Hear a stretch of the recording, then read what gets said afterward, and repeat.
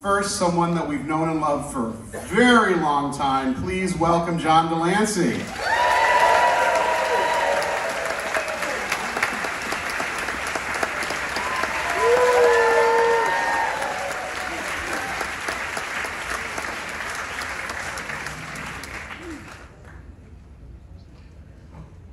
Good morning, John. Good morning. Um, please welcome the, the instigating factor from a dramaturgy point of view, Isa Briones.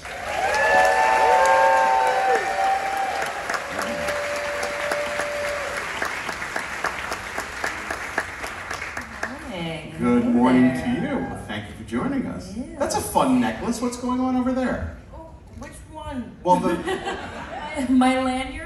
No, no, no, the one that looks like you could have some kind of Star Trekian scroll in there, like. Well, I do love that that is where your mind went. It is actually, um, you know, because I'm a little crunchy. Um, it is a crystal situation. You know, just trying to keep myself balanced am- amidst this uh, rocky ocean. You know. All right. Well, you know, on Star Trek, we do nothing with crystals or orbs or anything oh, like that. nothing. No, no, no, never. no. Never. Um, we have another guest with us all the way from Melbourne, Australia, and coming soon to New York. Please welcome Evan Evagora.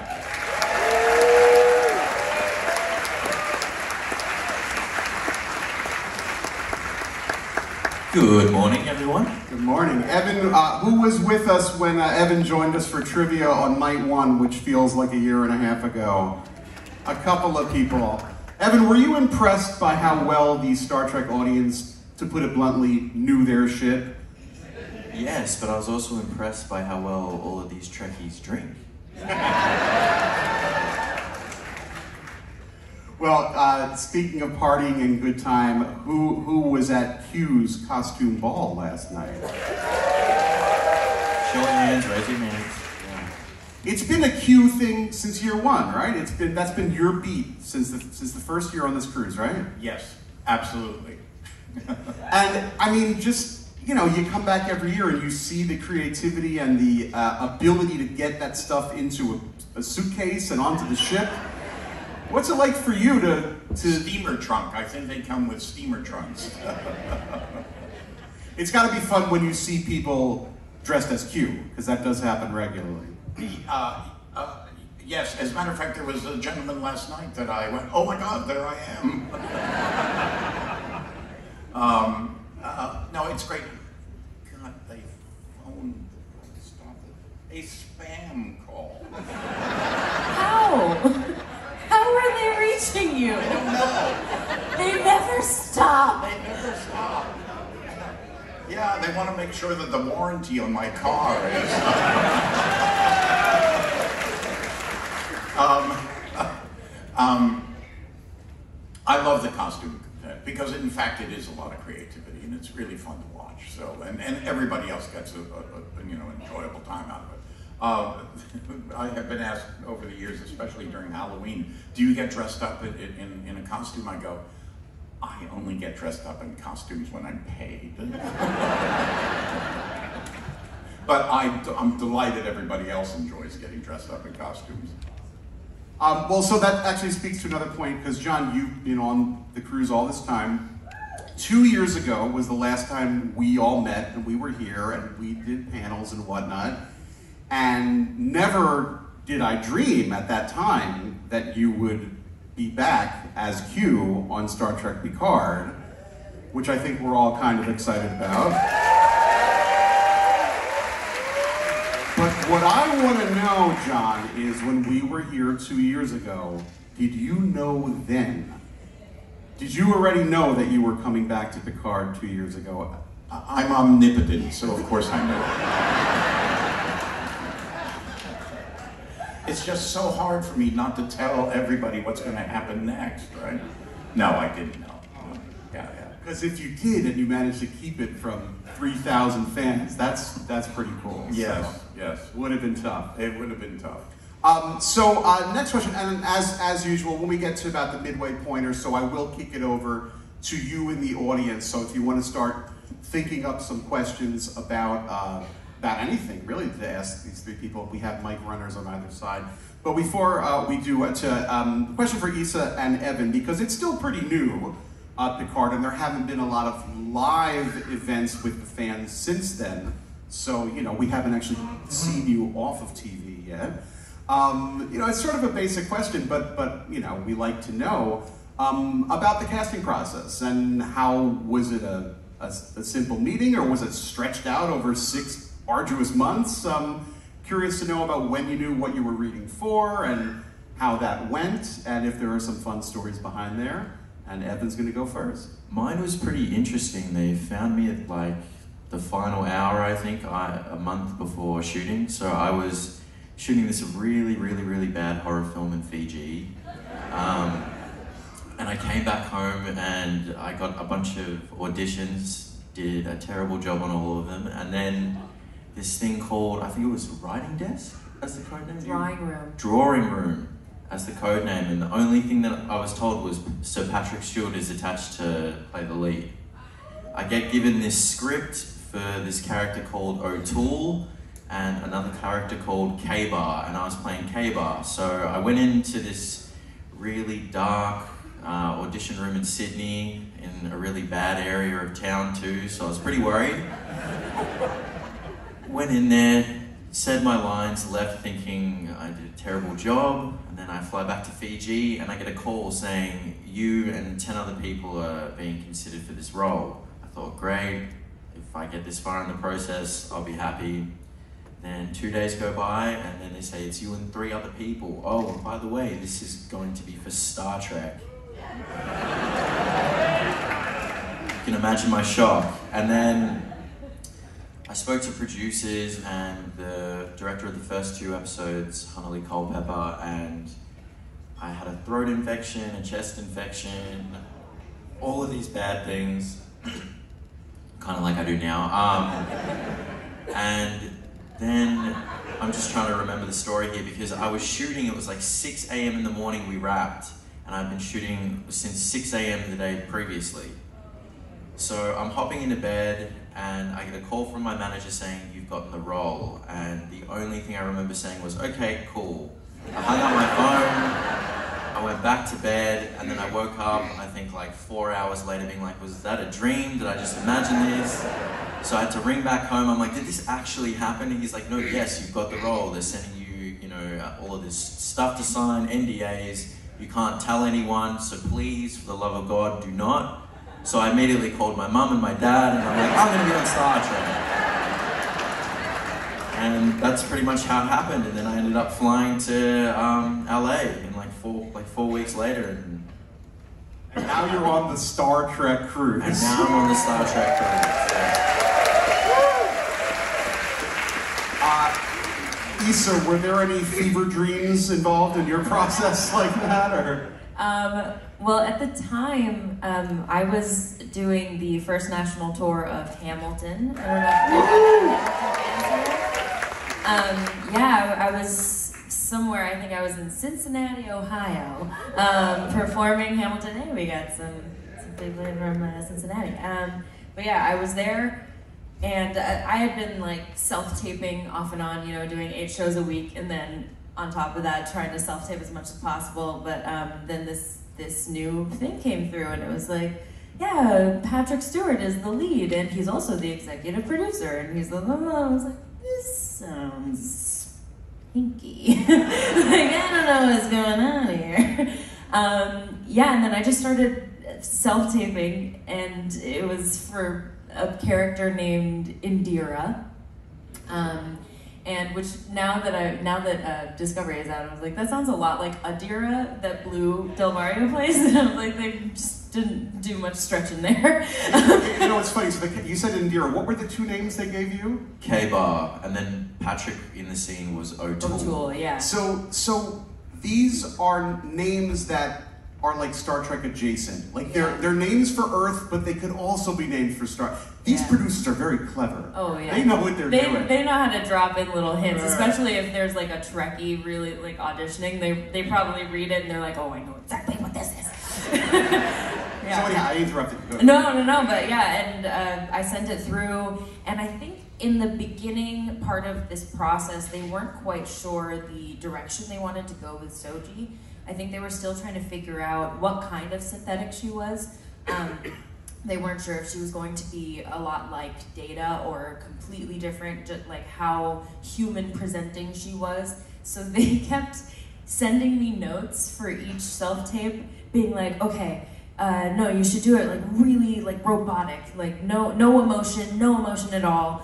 And then I send in that tape, and then I get another one. They're like, put some feeling into it. And okay, I'll do that next.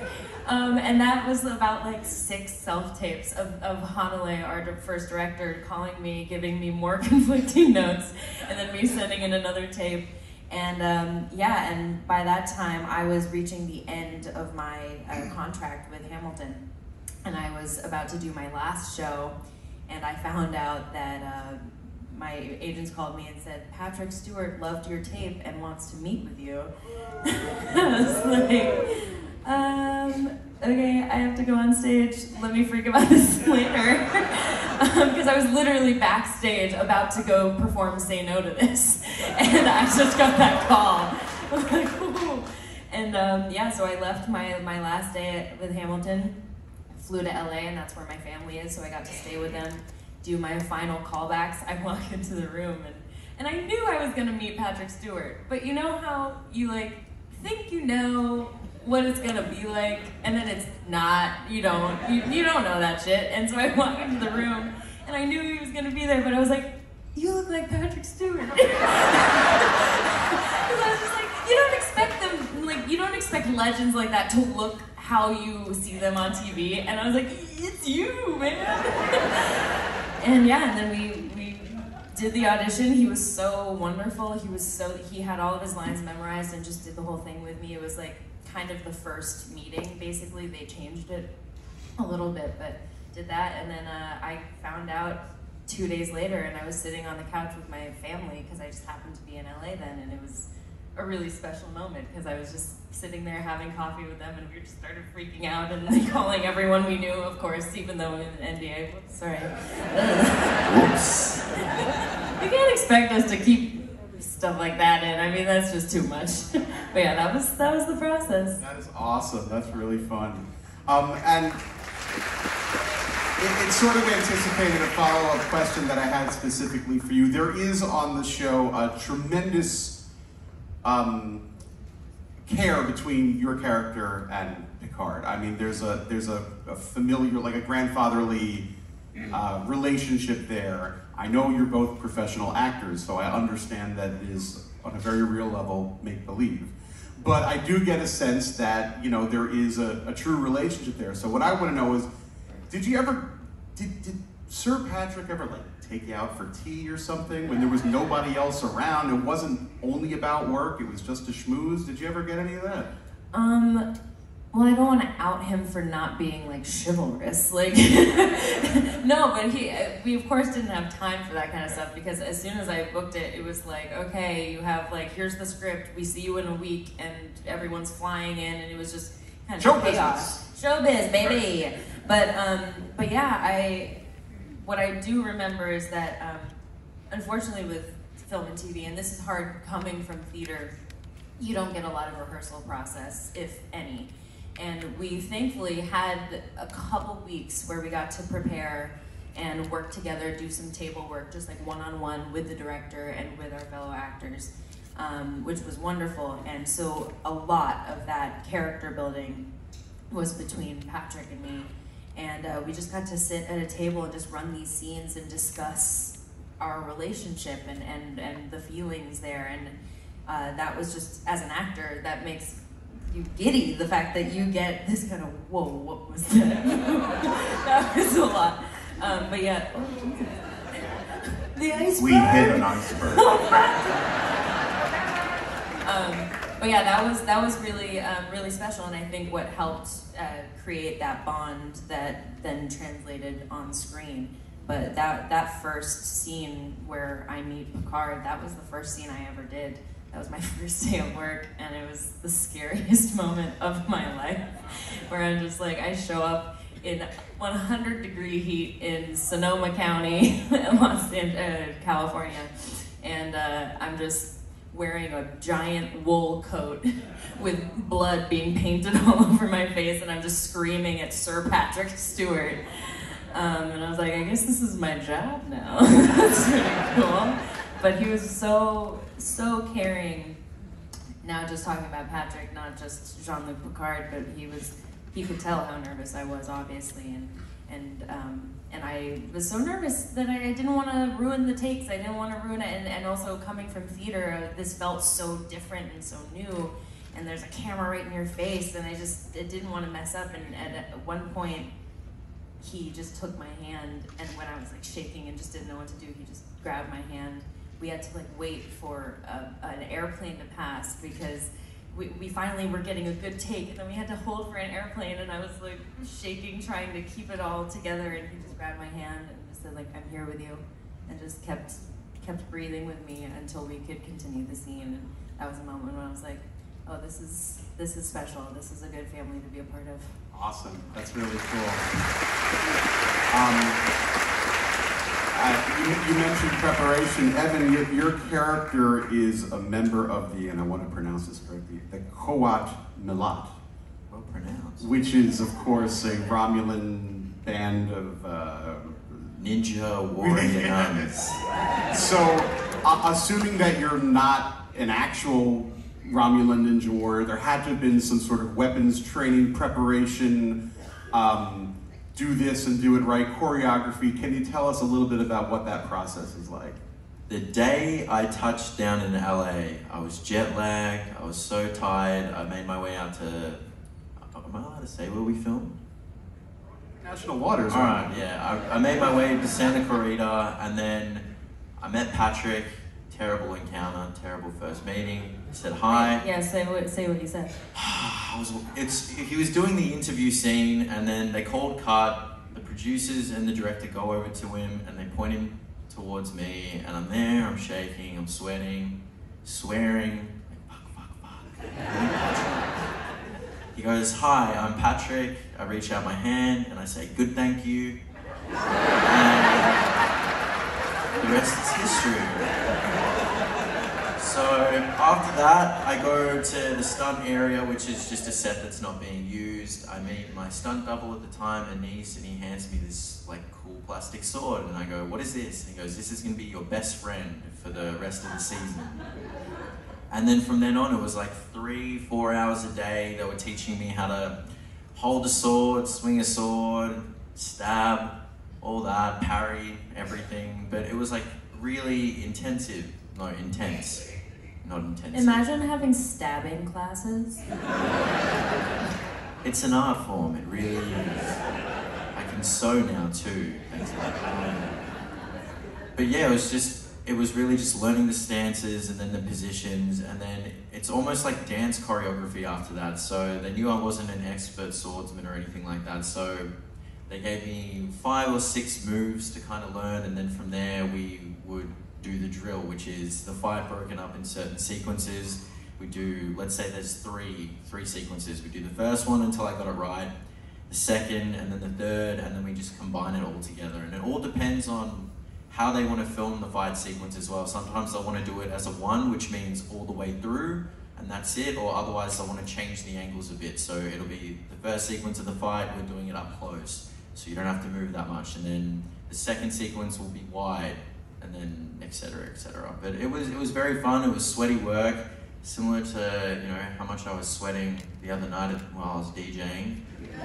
Um, but yeah, it was so much fun, and you know, it's a credit to the stunties because that's stunt people for people who don't know. It's a credit to their work to make me look good. Well, I mean, it looks pretty badass on screen, so I'm. Uh, Yeah, pretty good. I, I don't want you there defending me if uh, I'm never being chased by baddies.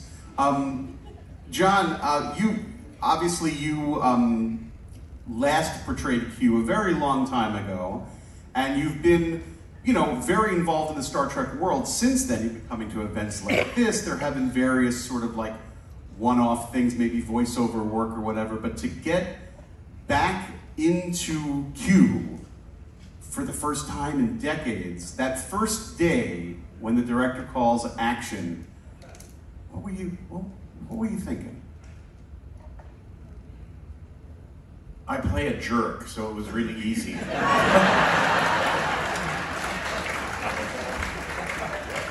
it's like rolling off a log. Um, uh, what was I thinking? I was thinking, as I said to Patrick, um, isn't this amazing? 34 years ago, we were, we were nose to nose, uh, and here we are again. So that's what I was thinking. Um, you know, Q is, I mean, you, the fans love Q. I mean, you were originally never, you were supposed to be in one episode, and the next thing you know, you're back, and you're back again, and you're back again, and you're on Voyager, and everybody loves you. So you got to hang out with Vash, which was, I want to hang out with Vash. That's pretty cool. Um, so clearly, you've been with this character for a very long time. So I have a question for, for you about Q. Um, Q loves Jean Luc. He loves to torment him. He's like the kid who puts the frog down the shirt of the girl he's got a crush on. Jean Luc, get off my bridge. Jean Luc hates Q on the surface. Do you think deep down Jean Luc kind of likes Q back a little bit? If he just changed his behavior, they could be friends maybe? I don't know about being friends, um, uh, but in reality, uh, it, and it's it's not too much of a of a turn. Um, uh, certainly, in what you will be seeing coming up, there's a um, there is a, a, a, a love involvement, and I don't mean a you know physical love involvement. I mean that um, this character Q loves Picard. And what we discover is, in this case, there are elements that have to do with, um, there's a, an urgency to what he would like Picard to do, needs to do. And it comes out of, you know, it might be tough love, but um, I love you. Yeah. Oh, well, I'm intending to watch. I did not watch the premiere last night. Hands up here who did. Hands up here who did. Hey! I want to watch it in the comfort of my own home so I can hit pause and go back and study and take notes and blog and tweet. So that's why I didn't do it uh, here with, in, in person. But um, qu question for, for the whole gang here. Um, we who are involved uh, and come to conventions and the Star Trek cruise uh, have over the years been delighted to see our friends Patrick Stewart and Brent Spiner. I think the phrase is take the piss out of on each other. They, they really do like to trade zings. And I know, as you said, show business. It's all business. Money is, you know, the clock is ticking, money's on the line. But when Brent Spiner and Patrick Stewart are together, there's got to be some sparks. So I'm wondering if you've been witness to any hilarity while shooting Picard. I think anytime any of any of the cast of the next generation comes together, it's like you're watching just two old friends sitting or sitting in a living room, just like trading stories. Like it immediately becomes that we are just like peering in on a wonderful, intimate reunion. Um, and yeah, I think with uh, with Brent, Jonathan Frakes as well. When, once you see the three of them together, they take the piss out of each other a lot. It's, it's funny to watch. It's it's funny because we obviously coming in later as like the younger kind of like, whoa, Patrick Stewart, oh my god. And we're like so so kind of like careful because we just want to be like, oh, like what's gonna happen? He's like so legendary. And then they walk in and they're like, hey, old baldy, old bitch. God. So it's just so funny to see a whole other side of Sir Patrick Stewart through the eyes of his best friends. Yeah, you were saying that when um, you said Frakes. Frakes obviously is one of the directors, but he directed my first episode. Yeah, I love he, that man. He's also. You used to tell me the other day that sometimes he'll pop by the set even when it's not his day. Yeah, they would. I mean, even I think it was season. Well, it has to be season one. they all came and visited uh, you once said when Marina and um, Yeah, when we were filming Nepenthe, um, a wonderful episode. That was one of the most exciting episodes to film. Um, getting to work with Marina and Jonathan, and uh, yeah, we were all filming on the Universal lot, and we were just uh, kind of sitting around waiting to do our scenes, and all of a sudden. LeVar Burton walks on, and then all of a sudden Michael Dorn comes in, and I was just like, "Oh my god!" I and I didn't realize how big of a fan I was until I was surrounded by them, and then I was like, I don't know what to do with my hands. it was so nerve wracking, but so cool because I, I like came back from lunch with my with my tray. It felt like high school where I was just like walking in and I was like, oh, I'm gonna go over here, and they were all kids. yeah, and they were all in a circle with their um, with their chairs, and they just waved me over. They're like, Isa, come eat with us. And I sat down with them, and they were just reminiscing about TNG days and taking the piss out of each other. And and since I was the only one who didn't know these stories, they were all just directing everything to me, all telling me these things, and I'm just sitting there like watching all of them. And I was just like, man, people would pay billions of dollars to see what I am seeing right now, and I get to do it on the job. That's amazing. I remember LeVar came on set one day, and I think it was a PA or an AD, like would just gasp as soon as he walked through. She was like, And then they started singing the uh, theme song to Reading Rainbow together. It was really cool. That's really cool. Well, you know, Isa, you say that you didn't realize you were such a fan. You know, if you book now for Star Trek The Cruise 6, you get a few dollars off. So. Hey, who signed up for next year's cruise?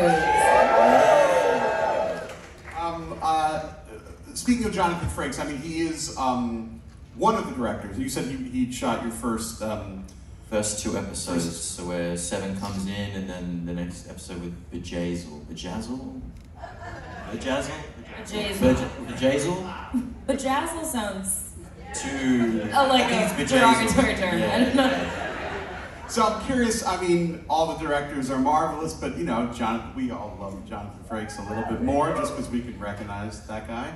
Um, what's a little bit of his special sauce? What makes the Frakes episode different? And and He's John, loud. you- He's very loud. So loud. Action! One of the one of the scenes that I did, um, I think it was uh, the moment when uh, Narek and Soji are, are sliding uh, with their socks like across the thing, uh, which was such a fun uh, scene to shoot, especially with Jonathan. Because he's just like shouting things at us, like, "Now do this! You're a bird! You're on this!" And we ended one of the scenes, and we were trying to tweak it like for perfect, um, just so the camera angles were right and everything, and it was hard to get. And when we finally got it right, it's complete silence. We're just there. We end the scene, and we just hear off in the distance, "Brilliant!" and that's Jonathan. He's been doing it for so long as well. I mean, he was in TNG, he's directed so many episodes across different series. He just knows it inside and out, and whenever he gets on set, even though he's so casual and laid back, there's this like level of professionalism there that you don't necessarily see with people who come on to direct who don't know the series and don't know the show. So that's probably why. if you ask, I feel like if you ask most actors and ask them like what their favorite kind of director is, usually they're gonna say an actor director, like a director who also acts, because yeah, you just they, they know exactly how it works, and especially when they know exactly how Star Trek works, like Evan was saying, he just knows he knows what we're going through. He knows he's been in our shoes and knows how to handle each intimate and, and vulnerable situation um, with so much care, so much empathy, and so much encouragement because he knows what it's like to be an actor and put yourself out there and be like, do people like me? I don't know. And he's there to be like, we love you. Let's keep going. especially a director who will bellow brilliant when you're done with the tape. You know, I'm, I'm, I'm blanking specifically, John. Uh, because Frakes directed a lot of episodes over the years. Was was he ever director on one of the episodes you worked on? Yeah, and I, I agree totally with what you guys are saying. I mean, um, Jonathan makes everything better. Yeah. And um, and you know you kind of have your back covered, especially for somebody like me, where I kind of go, "Was that a little too big?" and you know, I'll get. Mm. so, um, uh, so it, yeah, he, he's it, it's it, it's great. It's, it's it's it's really it's really nice to, to work. There aren't enough good things that we can say about Jonathan. Awesome. Well, he's he is. Um, hey, you know what? I'm gonna take a little indulgence. I'm gonna tell my Jonathan Frakes story. One of you, one of the fans, went into my room. I gave some woman the code of the safe and brought me my wallet and my passport. I watched her come down the stairs and hand it to me, and I was able to get back home. And it was Riker's idea to have me do that. So God bless Jonathan Frakes. What decisions have you made so far, including from the premiere last night, the decisions you have made in uh, making, uh, creating your character Elnor, to portray him how you think he should be portrayed? That's a really good question. Since the premiere last night, nothing because everything's already been filmed. but I mean, once we get given the script, everyone as an actor has to make choices with what you do, how you say the lines, how you, your delivery, your interaction with other characters. And really, it was just my choices. I, I found when I read about Elnor, because I, sorry, K-Bar, when I first read about him, he was described as this person who only grew up surrounded by women. I am the youngest of seven kids, and I have five sisters. So I grew up in a household surrounded by women. They also said that he is a refugee living in a planet that is not his home. I am the son of immigrants, and I grew up in Australia, and I've never really been back to where my father is from. I've had the pleasure of going back to the Pacific Islands where my mother is from and like learning about my heritage. So I just found so many connections between me and this character, a lot of like parallels, and like even going to Los Angeles, uh, a city I didn't know. Um, it was the first time I'd ever been to America. I felt like a fish out of water. So I could kind of draw from those experiences and those connections that I had and like utilize them and use them in my performances, Elnor. Very cool.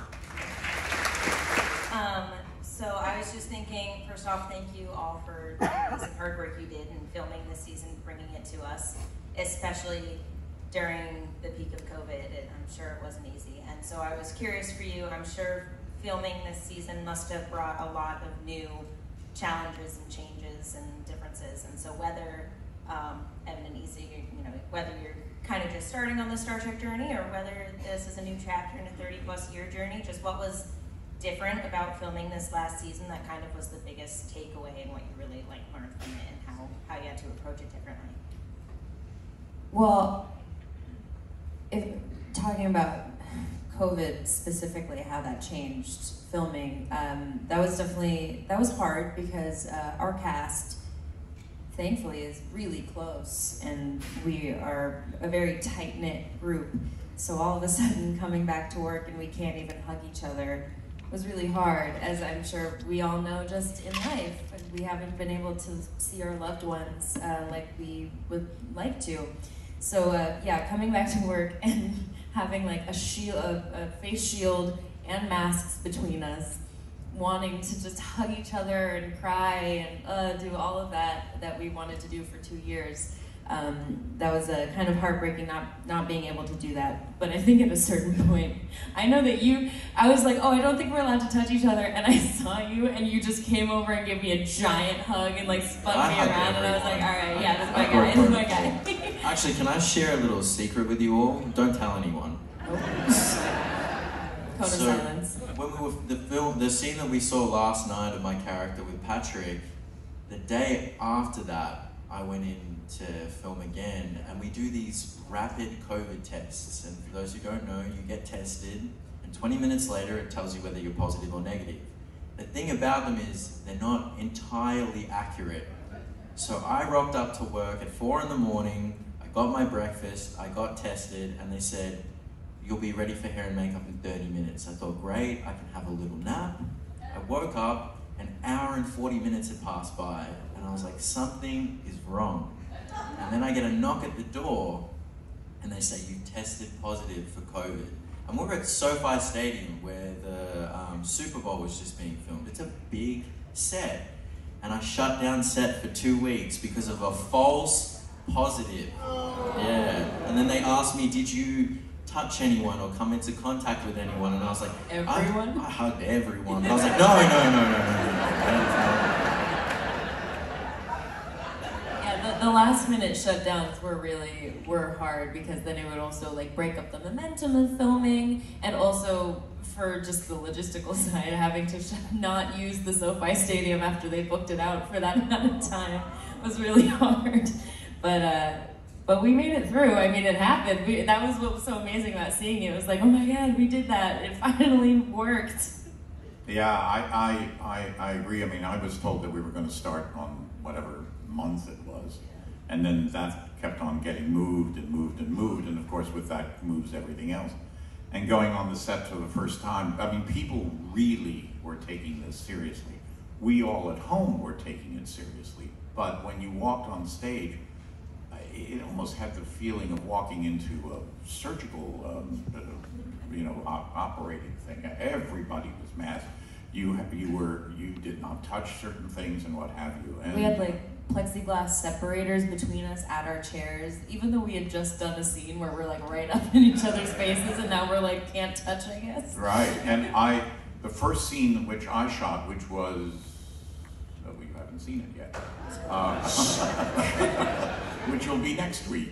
Um, um, I uh, got a call maybe two days later saying you um, one of the makeup artists, and you know well enough not to ask.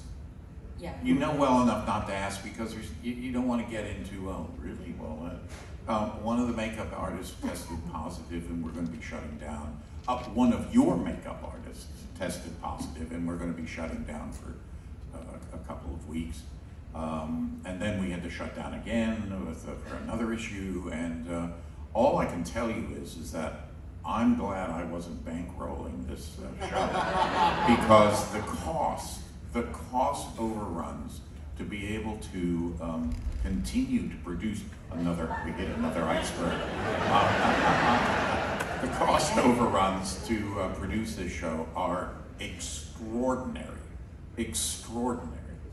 I love the fact that we have the experience and the new here for this unconventional voyage. So I was curious, John, if you can kind of go back in time and think about your first experience in at your first first convention and what was going through your mind. If you have any anecdotes, and then for you two, if you've ever been to a convention prior to this and how it is being on the other side, and also as actors now coming into this convention scene and you know what was going through your mind on your first one Well, um, I was interested in your audition process. I mean, you know, I just slept with Gene Roddenberry, so that's how I. Um, old joke. Um, uh, uh, but while you were talking, it, something did come to mind. Again, uh, you will have this experience as an as a venerable old actor in all of this. You will have this experience. This is an audience that has been told everything and remembers everything, so they will know the story. But I was a couple of days into shooting uh, Encounter at Farpoint. Uh, like you, I had just come from a play and blah blah blah blah and stuff like that, and I'm just watching the setup and um, a voice behind me says, "You have no idea what you've gotten yourself into." And I turned around, and it was Gene Roddenberry, and I said, "Gene, what are you talking about?" He said, "Oh, you will find out." well, I now offer that to you. you have no idea what you've gotten yourself into. Hey, it looks pretty good from here. Um, so my first convention was actually in Florida. It's funny how we always remember the first of everything, don't we? Um, my first convention was in Florida, And I arrived and they said, well, you're going to be thrown out on stage. And, you know, it was a big audience and what have you. But mostly what I was struck with is that it was sometime in August and everybody looked like it was a Halloween costume. It was, it was Halloween. I was going, what is going on? Everybody's dressed up. I have no idea. Yes, it was, that was a, um, a baptism by fire and I've been doing it ever since and I think you will too. Yeah, I think for us, when we San before Diego. we yeah before we did like more um, uh, kind of getting to actually interact with people and do like signings and autographs. We did a San Diego Comic Con where we didn't really get to meet anyone yet, but it was just the big panel kind of introducing Picard for the first time, and uh, that was just crazy because we we were still in the middle of filming. I think we you had just come from a crazy late shoot. You, Yeah, you came yeah. in like They drove me in at like three in the morning when I left Santa Clarita Studios, and I was asleep the entire drive. yeah.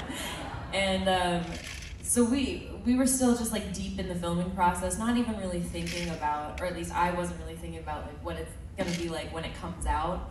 And all of a sudden, it hit me. I was like, oh my god, thousands Sea of of people faces are about come out. yeah, thousands of people are about to see us right now for the first time because no one had really seen our trailer yet. No one really knew who we were, and we walked out onto that stage and even though they introduced us um, individually, obviously Patrick gets an amazing reception.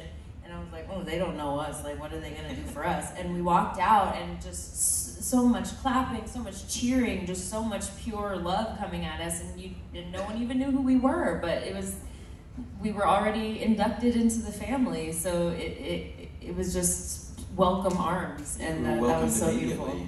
To the Trek family. It was great. And then our first actual convention was during the last cruise. I mean, we weren't of it, on it, obviously, but we were in Chicago, and Like four days before the world shut down. yeah, it was crazy. And I think my episode had just, my first episode had just aired the night before, and um, you know, I could drink there too, but it's not as good as drinking here. and uh, there were a lot more of you here than there were there.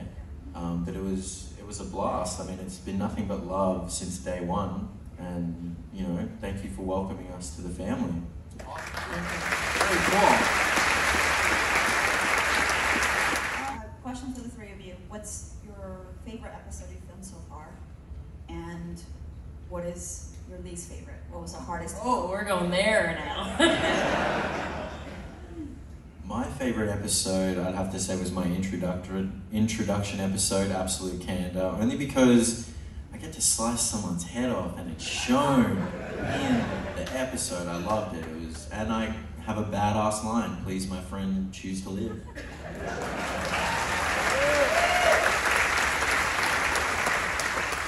Do you have a least favorite? He loves them all equally. I love them all. Anyone that I'm not in, how about that? How's that? Yeah, there you go. Um, I think probably Nepenthe was my favorite to film. Yeah, that was incredible. Just getting to hang out with everyone and, and see what. I, I remember that day so clearly because we filmed one part of it very briefly. Um, I think it was just me like walking up, and it's a very easy scene to film because it's kind of just us like looking at each other, and then then um, we start to set up the next scene, which I wasn't in, and so they're like, you can go back to your trailer and whatever. We're gonna rehearse their scene, and I was like, oh no, I'm fucking staying for this. and I was just sitting kind of off to the side watching them uh, block and just kind of run organically the scene where um, uh, Picard sees uh, Riker for the first time, uh, and I was just sitting there watching it, and we, the whole room, we were all sobbing as he did, when Jonathan just opens his arms and puts him in that bear hug. It was just like it took everyone's breath away, and I was like, it was just one of those moments where I was like, I can't believe I'm here. I cannot believe I get to do this. Um, so I think that was probably my favorite episode, and also getting to hang out with LeVar and Michael. Um, all of them cursing at me and taking the piss out of each other. Um, and I have no least favorite because that what a, what a bitch I would be if I said anything about that. John de Lancie, this is a good question. What is your favorite episode? Uh, well, I'm trying to, uh, without going back over the old stuff, I'm trying to think of the new stuff. I, I, I am a catalyst in this show. Okay. Um, which means that I come in occasionally. And um, there are, uh, I, I come in six times, I think. And out of that, I would say that there are two or three that are really important scenes. Um, one is with Brent. Um, uh, Are we allowed to be saying this? What's that? Are we allowed to be saying this? The DJ, whatever. It's shown in the trailer. It's shown in the trailer. It's in the trailer. It's in the trailer. He, he can tell. It's cute. It's John. um, uh, some scenes that are going to be coming up next, and then some uh, at, the- at the end, some uh, s- s- scenes with Patrick, which are which I are are are, mem- are memorable, are memorable to both of us. They're, they're meaningful to both of us. So Awesome. You have you have something to look forward to, Awesome. along with everything else. What's the one where you lose your power and Corbin Bernsen shows up? What's that one? Is that the best one? Or is it All Good Things? All good one? things, I think, right. Uh, and also Tapestry was very good. Oh my God. I, I'm going to make a statement here on international waters. Any Q is good Q, and when Q is when it's a Q episode, strap in because it's getting good. We have a question on this side. Mr. de Lancie, um, I'm really curious when they approached you for Picard. Was it like what, or was it like? I mean, obviously they probably offered you a, a good deal to do this, but um, but was it was it a hard? But was it a hard decision to reprise the role? I mean, was it like instantly, of course, or was it like something that you had to even think about, or talk to your agent, or how did it go for you? My last show was all all good things. Uh, that was back in the Pleistocene, and um, and um, you know one of the things as an actor is that and and, and then they did you know whatever three or four movies. Uh, uh, one of the things you have to kind of discipline yourself is to not hope that you're going to be invited to somebody's dinner party. You have nothing to do with it. You, you, you can't control it. So as time went on, I went, you know what, that's, that's the end. I, every time I played the character, I figured that was the end. I'm never going to do another one. And then, so all told in the Star Trek pantheon, I did nine episodes uh, in, on three shows, never to be done again. So when I did get a call, when my agent called, they said um, they would like to talk to you about Star Trek, would you meet with them in, at Paramount? That was uh, a meeting that was, again, because of COVID, um, extended, extended, extended. And finally, I did meet with Terry, I think it was. And the first thing I said to Terry, he said, I guess you expected to be called. I said, well, actually, I didn't. And, I, and then we started talking, and I said, you know, I have one precondition. And uh, if we get past that, we can really have this conversation. Said, oh my God, what is it? I said, you're not going to put, put me back in those tights again, you? because it would be really unseemly. and he said, oh, no, no, no, no, no. And then he discussed what it was that they had in mind and what have you. And I went, oh, great. The other, and and on a serious note, the other thing was uh, for an actor, and I dare say for all of us in life, um, you can really never go back. So the notion that we were going to try to recreate um, the elements of a character that had been played 20 years before was really kind of concerning to me. Um, and, um, yeah, yeah, we just we're just going through an ice field right now. Don't don't worry about it. but you do know that song "Nearer to God." Nearer. Um, so, so that was the uh, that was the, the important part of all this to me. We're not going to try to read. I'm not going to be bouncing around kind of like this and you know like all that type of stuff. He said no. I said great, uh, uh, great. And so they explained to me the story, although they didn't have the whole story mapped out, but at least where it was going to go. And I went great. I'm I'm on board. I love it. It's exciting.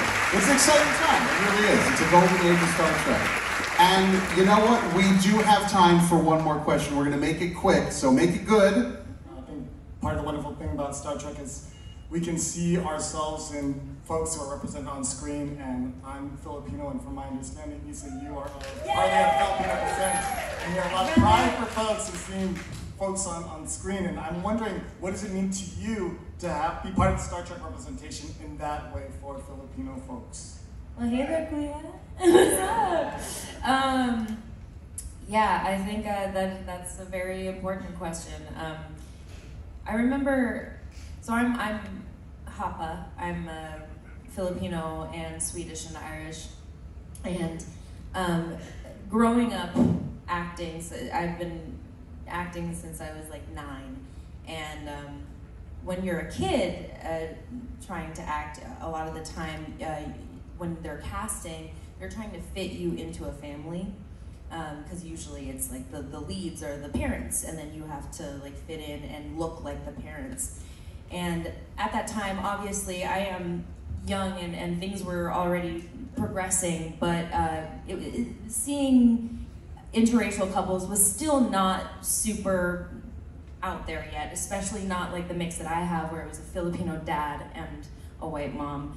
Um, but usually I was going out for either the blonde, blue-eyed family or the uh, fully Chinese family, and I didn't fit into either of those. And so that made, I think anyone knows that like racial identity can be a very hard thing to, to grapple with, especially growing up, and can do some do a number to your uh, mental health and feeling just not enough because people are often telling you you're not white enough, you're not Asian enough, you're not this enough, you're not that enough and um, and that can really kind of damage your confidence. And suddenly, I started to grow out of that um, childhood phase where suddenly it didn't. They weren't trying to fit me into a box, and they were just looking for someone. And with this show, getting to audition and not having to fit into any box or look like anyone else was so freeing. And when I was cast, I was like, I wondered. I mean, I know that I'm Data's daughter, but there are supposed to be parents that they show, and I was like, I wonder they're probably to cast like a white family because that's usually how it goes with me. But then they were like, well, you're Filipino. We're to cast a Filipino woman as your mother. And I was like, oh my God, for the first time, like, it didn't matter what I was. It just like once they once they found the person they wanted, that's when they added everything else. It wasn't trying to squeeze me into a box that I didn't quite fit in and, um, and that was just one of those moments where I was like, I really hope this continues. I want this to continue for everyone, especially, I mean, you know, I've, I've got a, quite a good amount of white privilege here, but you know, just I hope it continues for other people, people who are less represented, people who are darker skinned and, and uh, ostracized because of it. I just hope that we continue to get rid of these barriers that it's always trying to fit you into a box and, and, and make you get in line when we don't really, that's not how we are as humans. We are so, it's just there's, we are so diverse just as human beings. And, um, and that's what I love about Star Trek is that it wasn't about, it wasn't about my race. It wasn't about who, whatever box I fit in. It was about the character and that they just wanted to tell a story. Well, I mean, Star Trek has always been on the forefront of this fight, and uh, we're not there yet, but it's a lot of progress. Um, this has been a really tremendous panel, and I'm so excited to get. I mean, I, the only thing that's going to get me off this boat is to get home, to turn on Paramount Plus and watch new episodes of Discovery, new episodes of Picard. So thank you to our three guests, Evan, Isa, and John. And thank you to all of you for your great questions still have another full day here at sea, so uh, have fun.